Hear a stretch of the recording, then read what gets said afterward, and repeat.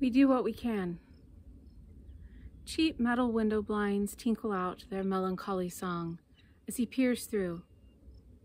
The blinds, like the glass, have been cleaned halfway up.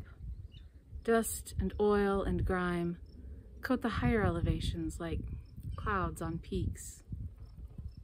The wheels on his chair prevent him leaning closer, but he can still see the bench under the trees across the street.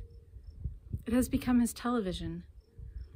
The black box on the wall only speaks of ventilators and crowded hospital hallways and temporary morgues. But the bench is a stage on which he still watches the players strut. If his husband were here, he'd spin stories about every one of them, regale him with imaginary dramas and improbable comedies till this quarantine hell was only dinner theater. But he is not here.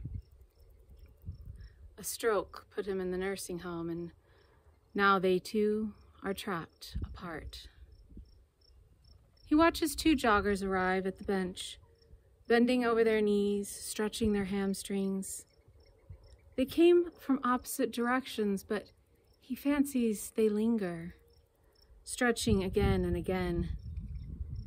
He wonders if they are talking to one another behind their masks. He drops the blinds when the door buzzes, wheels over to let the home care nurse in.